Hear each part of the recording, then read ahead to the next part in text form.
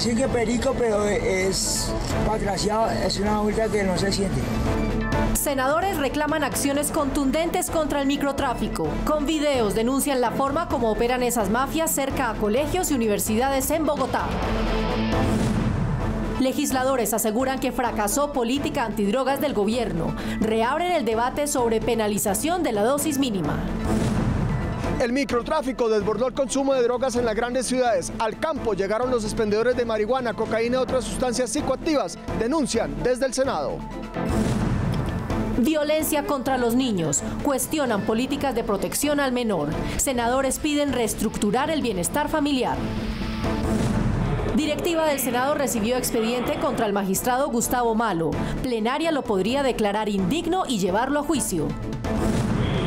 Congreso urge a ELN detener acciones contra la población civil y contra la infraestructura energética.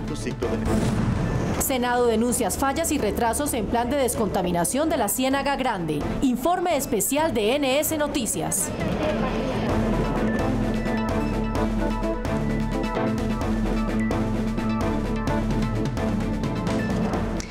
El Senado le pidió al gobierno adoptar medidas urgentes y concretas para contener el microtráfico de estupefacientes. Aseguran los legisladores que el expendio de sustancias psicoactivas se está extendiendo peligrosamente a la zona rural. En las últimas horas, un grupo de senadores denunció la forma abierta como opera a plena luz del día la venta de alucinógenos cerca a colegios y universidades en Bogotá. Este video fue grabado por un equipo investigador del partido Mira. En él se evidencia cómo jíbaros ofrecen y venden droga en el sector de la calle 15 con carrera cuarta en el centro de Bogotá, sitio estratégico para ellos donde se ubican las diferentes facultades de las principales universidades del país. Le dicen que perico, pero es desgraciado, es una multa que no se siente. Por eso hacen la denuncia para que las autoridades tomen control de la zona y dejen en evidencia cómo se comercializa la droga sin ningún problema en este sector. El video fue grabado hace dos semanas y ofrecen todo tipo de drogas. Según la investigación, durante el 2017, 6.735 niños ingresaron al programa de restitución de derechos por consumo de sustancias psicoactivas. De estos, 49 están entre los 0 y 5 años de edad, 118 entre los 6 y 11 años de edad y 5.041 entre los 12 y 17 años. Tiene por ahí cada dosis cuesta entre 2 mil y 5 mil pesos. En algunos centros universitarios, a las salidas o en sitios muy cercanos, la droga la regalan a los jóvenes. No hay ningún tipo de control. Las autoridades se les salió de las manos este flagelo. El estudio también arroja que el 58% de los que consumen drogas son menores de 24 años y de este, casi el 80% aún vive con sus padres.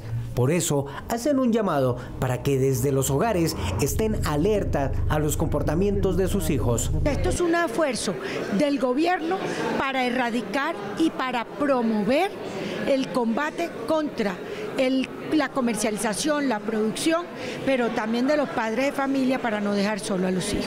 Se han detectado que en Bogotá hay 78 entornos escolares afectados por el narcotráfico. Y ante este panorama, senadores reclamaron al gobierno una nueva estrategia que combata con mano dura a las mafias y acoja al consumidor en el marco de un plan de salud pública. Los legisladores reabrieron el debate en torno a la penalización de la dosis mínima. El flagelo del narcotráfico tiene varias aristas, por eso desde el Congreso piden que se aborde integralmente con una nueva reforma a la política contra las drogas, porque en el concepto de muchos la actual fracasó. También garantizando de que se erradiquen los cultivos y que por supuesto se dé pronta captura a todos aquellos que insistan en el microtráfico como mecanismo para tener una, una economía soterrada que le es dañina a un país porque atenta contra la salud de los colombianos y atenta contra el orden público en nuestro país. Urgente mejorar nuestro sistema judicial, urgente atacar de manera frontal toda la cadena del narcotráfico, urgente volver a penalizar la dosis personal para darle tratamiento al adicto y para poder judicializar a quienes se dedican al expendio de droga. Dosis mínima es aquí donde muchos conceptúan en que la dosis mínima estimula el narcotráfico. Prohibir la dosis mínima, definir en casos donde se requiera tratamiento terapéutico procesos de rehabilitación o donde haya unas adicciones severas, se puede dar el suministro por parte del Estado con unas restricciones específicas, pero quienes estén en el comercio, quienes estén en ese microtráfico, sean castigados y vayan a la prisión. Microtráfico o narcomenudeo. Para los legisladores, cada día es más difícil rastrear las ollas por su sofisticación, que hasta incluye domicilios. Los eslabones débiles de la cadena son el campesino cultivador, por un lado, y el consumidor o adicto. Entonces, donde hay que poner todo el énfasis del castigo, de la persecución, de la prohibición, es sobre las estructuras criminales que tienen montado el negocio ilícito del narcotráfico. Para los senadores es urgente que esta situación se aborde porque sigue siendo el narcotráfico el combustible y financiador de los conflictos y la problemática de la seguridad en las principales ciudades del país. Y precisamente sobre este tema, el fiscal general de la Nación, Néstor Humberto Martínez, radicará un proyecto de ley encaminado a atacar las bandas que se dedican al microtráfico y eliminar cualquier beneficio judicial a sus integrantes. Jorge Pulido. Es un problema de grandes proporciones, un proyecto de ley que ataque a las grandes mafias del tráfico de cocaína, marihuana y otras sustancias ilícitas hará tránsito en el Congreso de la República. El propósito es resocializar a las personas adictas y castigar severamente a quienes expenden drogas al frente de colegios, universidades y en los municipios un proyecto de ley que ataque de frente a las estructuras criminales de microtráfico y brinde programas de resocialización a los jóvenes adictos al bazuco, marihuana y cocaína y otras sustancias psicoactivas será tramitado en el Congreso de la República. El proyecto tiene por propósito primero buscar una resocialización de quienes han eh, adquirido esa adicción por las drogas y segundo ser mucho más fuerte con quienes son negociantes de lo que es la dosis personal. Yo creo que es urgente lo que hoy desafortunadamente está ocurriendo, no solamente en las grandes, pequeñas y medianas ciudades, sino también ya en nuestros municipios. En pequeñas poblaciones el microtráfico infiltró a los campesinos que ante la efectividad de los programas de sustitución de cultivos ilícitos están siendo reclutados por las bandas delincuenciales. El fiscal general de la Nación anunció que fortalecerá las acciones judiciales contra los microtraficantes que a través del narcomenudeo están golpeando las puertas de los colegios en el país. En ese proyecto de ley que vamos a proponer también, penalizar pero severamente y sin beneficios la inducción, la inducción al consumo por parte de menores y adolescentes. Tenemos que mandar un mensaje inequívoco como sociedad frente a todos esos eh, fascinerosos que en las puertas de los colegios y de las universidades se han dado la tarea de dar la pruebita. El Observatorio de Drogas Colombia presentó un panorama preocupante en el 2017 por este flagelo y las afectaciones que causa a la salud humana por su adicción. Tres aspectos fundamentales para atacar este problema del microtráfico. Uno, mayor compromiso y vigilancia de los padres con sus hijos, programas sociales para eliminar el consumo y una reforma integral que sancione la dosis mínima debe ser parte de la solución al microtráfico, argumentan los senadores. Esta es la información. Regreso con ustedes. Mil gracias, Jorge. Y urgente llamado desde el Congreso al gobierno a replantear los programas de prevención de maltrato al menor. Aseguran los senadores que los escalofriantes casos de los últimos días ponen en evidencia el fracaso de las políticas de protección a la niñez.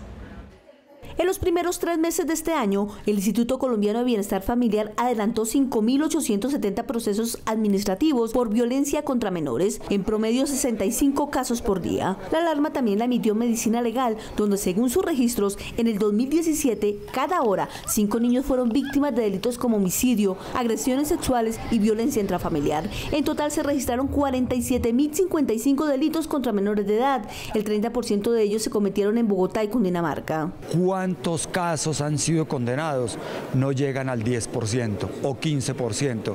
Esa pregunta hay que hacerla y la vamos a hacer en la plenaria del Congreso de la República.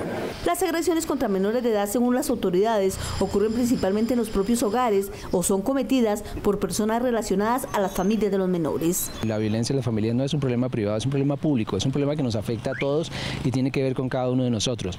Aseguran los senadores que el gobierno debe garantizar el bienestar de los menores en estado de vulnerabilidad y es necesario avanzar en una reestructuración del ICBF y de las entidades encargadas de proteger a los menores. Hemos pedido una reestructuración profunda a la política de protección con nuestra niñez. Hay que reestructurar el ICBF. Legisladores también cuestionaron el funcionamiento de las alertas tempranas. Aseguran que no se están teniendo en cuenta y un ejemplo de ello es el caso de la pequeña de tres años abandonada en un hospital de Bogotá con graves signos de maltrato tomar los correctivos que sean necesarios, fundamentalmente en el tema de capacitación, en el tema de prevención y en el tema de sanción. Hay una necesidad de que estas instituciones hagan un, un, modelo distinto de seguimiento de los casos, porque no ganamos nada con, digamos, rescatar al niño por un tiempo, mejorar sus condiciones y va a volver a un entorno donde igualmente está expuesto a riesgos. Senadores también hicieron un llamado a la sociedad para volcar sus ojos a los menores y no ser indolentes ante la crueldad a la que muchos pequeños son sometidos. Comunidades del puerto de Buenaventura llegaron hasta el Senado de la República para pedir ayuda. También denunciaron los graves problemas de atención en salud y educación. El agua potable, aseguran, es un sueño que se quedó en promesas. El gobierno está muy demorado en la respuesta a las necesidades de Buenaventura. Así lo reiteró enfáticamente el senador Alexander López, quien dijo que los buenaverenses urgen respuestas en la generación de empleo, la cobertura en programas de salud, educación y el refuerzo en la seguridad a líderes sociales. Hacen falta una dinámica especial para, de parte del gobierno.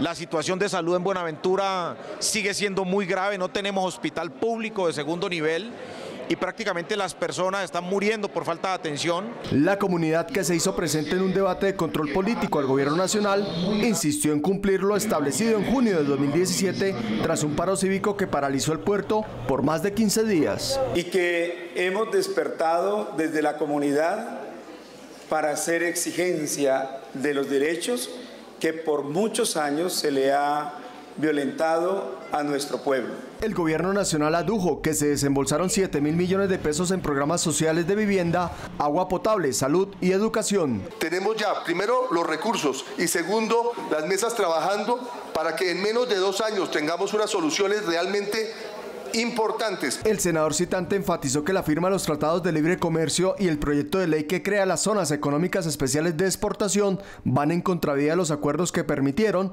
levantar el paro el año anterior y pasan por encima de las peticiones concretas de los bonaverenses. La plenaria del Senado aprobó 11 de los 17 artículos que le dan vida a la ley de regiones que busca otorgarle autonomía a los departamentos en el manejo de recursos para realizar inversiones en obras como escuelas y vías amplia votación, setenta y tantos votos favorables, luego 11 artículos que no tenían proposición sustitutiva, también votación muy alta, rondando los 70 votos, y se nombra la Comisión de Conciliación para estudiar seis proposiciones de los artículos restantes. Veo buena tónica el fondo, los discursos de los senadores eh, son en el sentido de estar de acuerdo con el fondo, algunos temores con algunos gastos que se irán a estudiar en la Comisión de Conciliación. La Habana, Cuba, se convirtió esta semana en la nueva sede de los diálogos de paz del gobierno con el ELN. Senadores le pidieron a esa guerrilla detener los ataques contra la población civil y la infraestructura frente a la situación. Las comisiones de paz del Congreso le pidieron a los negociadores del gobierno y del ELN concentrar su trabajo durante los próximos meses para realizar un acuerdo macro que garantice su implementación durante el próximo gobierno. Instamos a que esas conversaciones avancen al máximo y que se pueda garantizar que antes del 7 de agosto haya eh, acuerdos y decisiones fundamentales que hagan el proceso irreversible y que también se llegue a un cese bilateral, como se ha dicho, robusto, que permita darle tranquilidad a muchas zonas del país que siguen todavía en medio del fragor del conflicto armado. Las comisiones además aprobaron una proposición para realizar las próximas sesiones en Tumaco y en el Catatumbo. Nos vamos a ir la Comisión de Paz a hacer control político en las regiones con las comunidades a ver si logramos que el gobierno nacional por fin le cumpla los territorios con la paz. El Senado inició el trámite para declarar indigno al magistrado Gustavo Malo y llevarlo ante juicio ante la Corte Suprema de Justicia. Malo es investigado por su presunta participación en una red criminal para favorecer ilegalmente con sus fallos a altos funcionarios públicos. Brigitte Mendoza. La Comisión de Acusación de la Cámara de Representantes rindió informe a la plenaria del Senado sobre el caso del magistrado de la Corte Suprema de Justicia, Gustavo Malo, salpicado en la investigación del conocido cartel de la toga. Un expediente con más de 90 pruebas testimoniales, periciales y documentales en contra del magistrado Gustavo Malo entregó la Comisión de Acusación a la mesa directiva del Senado. Malo es señalado de recibir dinero a cambio de favores judiciales a altos funcionarios. Durante cinco meses trabajamos arduamente, dimos plenas garantías procesales y encontramos que en la Corte Suprema de Justicia, en la sala de casación penal, había una empresa criminal. Será ahora la Comisión de Instrucción del Senado la que estudie el documento de más de 5.000 folios. Esta deberá presentar a la plenaria la aceptación o rechazo de la acusación. Se estudiará en la comisión, muchas veces esa puerta cerrada por la delicadeza del expediente, ahí de todos los partidos políticos, de tal manera que ahí no puede haber ningún contubernio, sino se se trabaja en derecho, se cumple casi una función judicial dentro del Senado de la República, esa es dentro de las funciones que tiene el Congreso. Yo creo que en unos dos o tres meses estaría más o menos preparado el informe para que el Senado en pleno defina si se da traslado a la Corte para el conocimiento del proceso.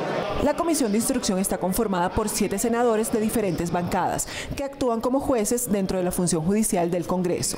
No vamos a darle una razón más para que vayan a tener dudas de las decisiones que toma el Congreso de la República de Colombia, en este caso como un juez marginal en este proceso en contra de unos magistrados que han burlado la confianza que les ha entregado el pueblo colombiano. Si la acusación es aceptada por el Senado, el magistrado Malo perderá su fuero y quedará a disposición de la Corte Suprema de Justicia. El Senado aprobó en primer debate el ascenso a seis altos oficiales de las fuerzas militares y de policía. Uno de ellos es el mayor general Ricardo Gómez Nieto, actual comandante del Ejército Nacional. La aprobación de ascenso seguirá su curso en la plenaria del Senado. También el Senado iniciará la discusión y estudio del Código de Procedimiento de la Justicia Especial para la Paz que recién presentó el gobierno al Congreso. Aprobar la ley de procedimiento de la JEP antes del 20 de junio es un compromiso del Senado con el proceso y la implementación de los acuerdos de paz, argumentó el presidente del Congreso Efraín Cepeda, quien recordó que es urgente que las salas de investigación de la verdad y de amnistía comiencen a operar. A todos quienes deben acudir a la, JEP con una patente de por vida casi, o por lo menos en la vida de la JEP, eh, para, para acudir a ella. No, no, no penas benignas producto del acuerdo de paz antes de la firma.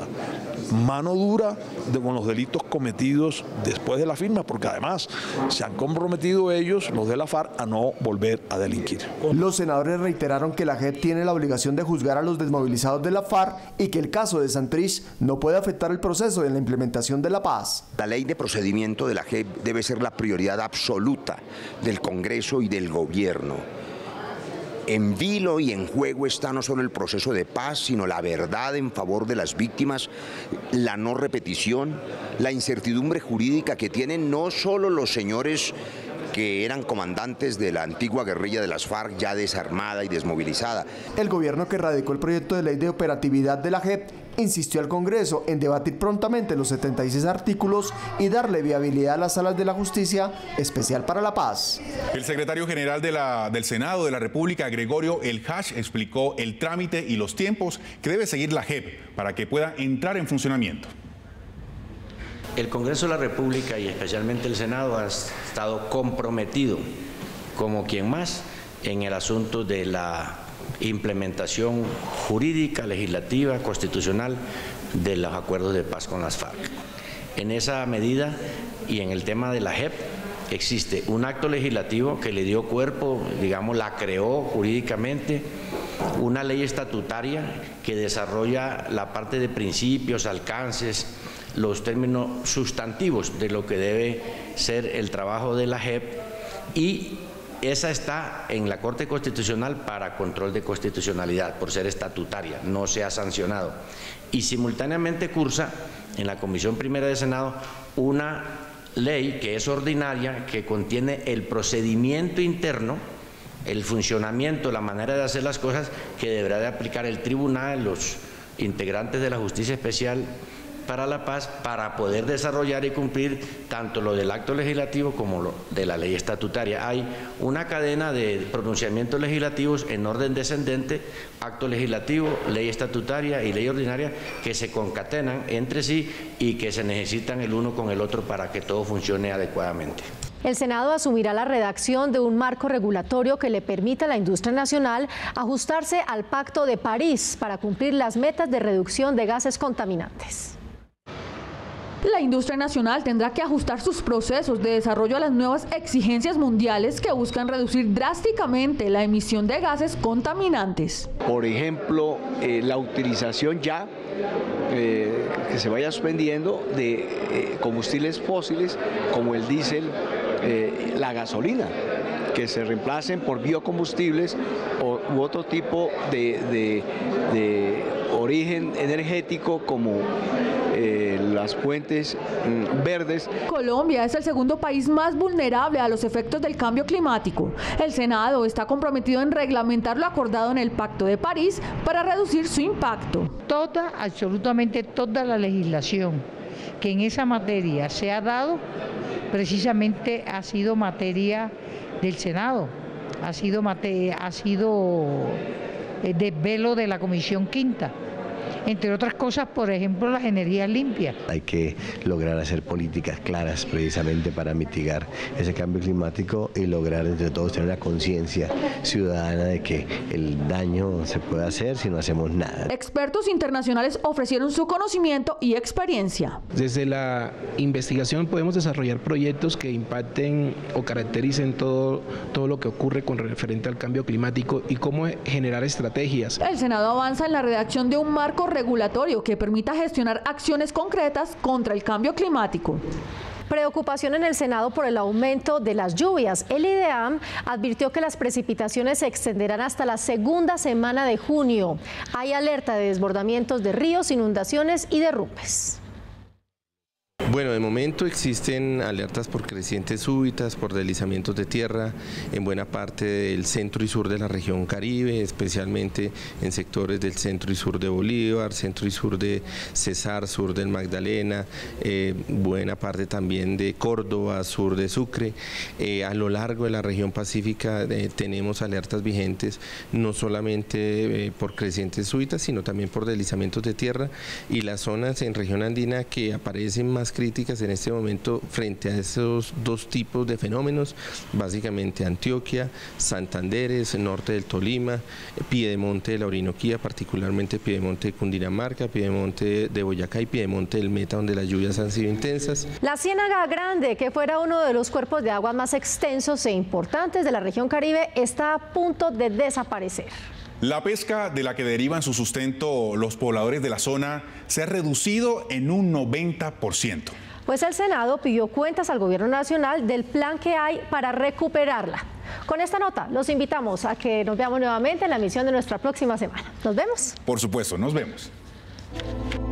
Una exhaustiva investigación penal por delitos relacionados con la contaminación ambiental de la Ciénaga Grande del Magdalena pidió el presidente del Congreso Efraín Cepeda a la Fiscalía General de la Nación.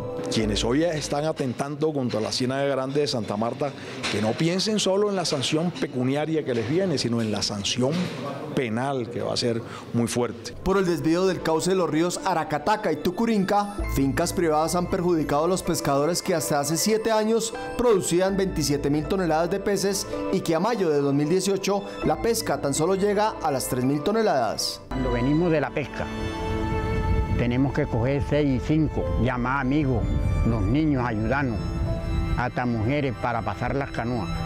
Este pueblo se componía de 117 viviendas, donde había más de 200 familias.